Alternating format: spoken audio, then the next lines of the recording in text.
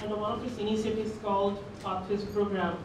Uh, it has operated, it has been associated with more than 12,000 households across Kalahandi and Kandhamal districts. And uh, out of those uh, 12,000 households, around 26% population have taken up kitchen gardening. And right now, uh, for last one year, another program called Kalina has been um, is being undertaken in these two districts, and of these 280 kitchen gardens have been set up. So we share based on the findings from these activities. So as we move on with the presentation, the current status of the dietary diversity, I'd like to share some of the findings that we have from the uh, program. Uh, a study that was undertaken in seven villages across six blocks in Kandhamal and Kalahandi districts. And you see, uh, as you find here, the average consumption of pulses and legumes, green leafy vegetables and other vegetables has been below recommendation as per the recommended dietary allowance by ICMR. And uh, when we talk about the other food groups such as fruits, milk and milk products is abysmally low, as my uh, previous presenter also uh, mentioned in her presentation.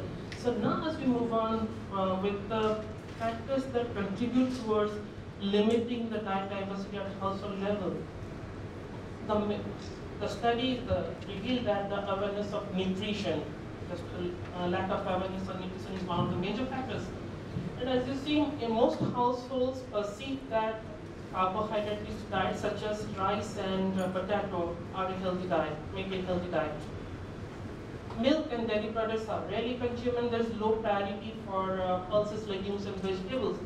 And uh, certainly uh, the non-consumption of certain food items like goat milk and uh, citrus food further limit dietary diversity.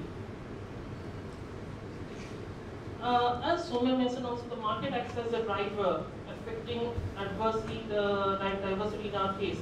The price sensitivity is highly prevalent across the households and uh, non-availability of or limited availability of certain foodstuff and affordability are bigger issues. Perishability and storage, the project is trying to address through these initiatives. And uh, the studies also found that the households usually consume non-marketable products which are stale or of poor quality, uh, thereby compromising the nutrition at the household level. The, the decreasing profitability in minor millets in our case, it's finger millet and uh, little millet, um, and swan. Uh, because of the decreasing profitability, it's fast vanishing from the daily diet of the households. And when we come to the another interesting topic that's intra-household decision making, as you see, the studies reveal that 70 in 78% households today and other decision makers would make, make decisions around uh, purchase of food items, crops, health, a selection of crops and varieties, availing services and marketing. So women have a little say in all these cases. And uh, one of the major constraint is knowledge gap. Women don't have the required knowledge to uh, make decisions in this regard also. The other thing, uh, the other areas that we look, uh, that we came across here is uh, limited mobility of women and limited or no asset ownership by women. These are the biggest constraints in decision-making process. In addition to that, as uh, Dr. Pashupalak mentioned, the perception of prestige food and poor man's food. Poor man's food, uh, as per the perception of the tribal population, now the post rates, particularly millets and wild edibles, the wild foraging.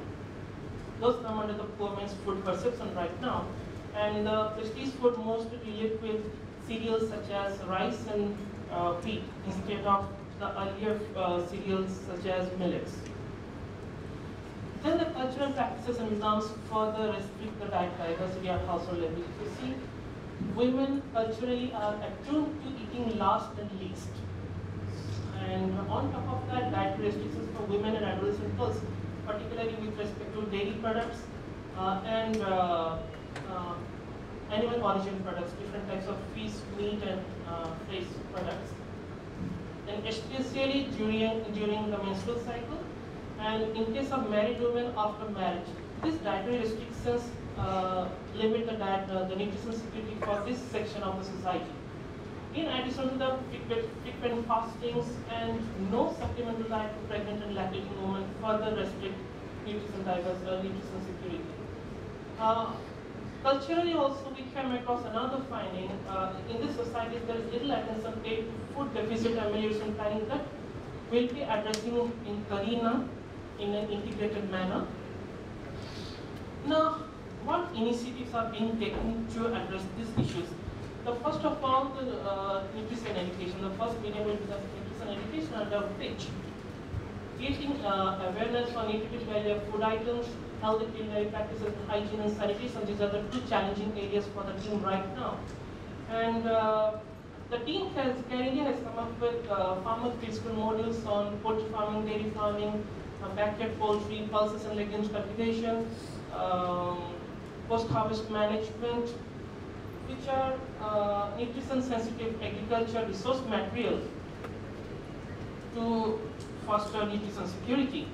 And another aspect of addressing this issue is transforming the collective action. In this case, by ensuring core principles of collective action, thereby strengthening the collectives, and awareness on government schemes, helping them avail the social entitlements, making awareness on the social entitlements, and finance, uh, facilitation of financial linkages and internal lending. Another uh, innovative initiative by Care India is AgriKiosk, introduction of AgriKiosk. This is uh, making uh, agri-nutrient inputs and services available at the community level with the support of the active participation of the community.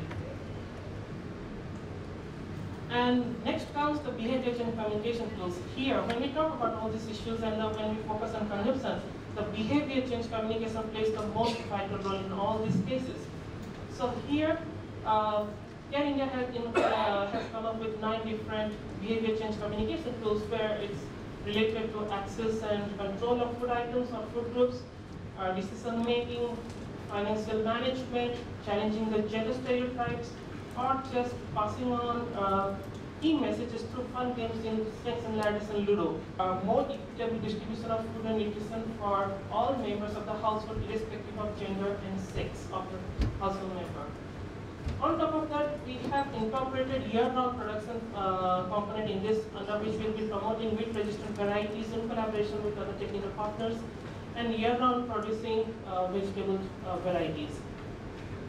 Here we have introduced an, uh, here we offer a bouquet of around 18 different uh, greens, tubers, fruits and vegetables and depending on the taste and the palatability of the household, they can take up an option and come up with the design. Here the uh, self-help groups, a collective that we are engaged with, uh, play a major role. Uh, in case of measuring the empowerment of self-help groups, Care India has come up with two tools called CRT, Collective Readiness Tool, and CCAT, Collective Capacity Assessment Tool. Using these two tools, we uh, define, we assess the develop empowerment of, an, of a collective or this case. And uh, Care India uses, in this particular Karina program, uses this uh, SHG platform uh, for nutrition messaging, capacity building of the community, leadership development, equitable food distribution, knowledge sharing on agriculture. When I refer to agriculture, it both includes cropping and animal husbandry in this case. And uh, promotion of flavor saving technologies, food processing, improved storage methods. In addition to the aggregate marketing, the SHGs also play a vital role on creating awareness on the fair average quality which ensures a better price to the community. And thanks a lot for your attention.